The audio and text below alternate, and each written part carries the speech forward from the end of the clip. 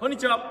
バスケットボールスクールハーツの吉崎先生です。好きな食べ物はカレーライスです。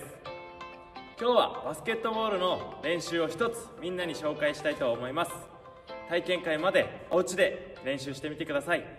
まずボールを持ったらボールを頭の周りで回します。10回できたら次はお腹の周り。次は膝の周りをします。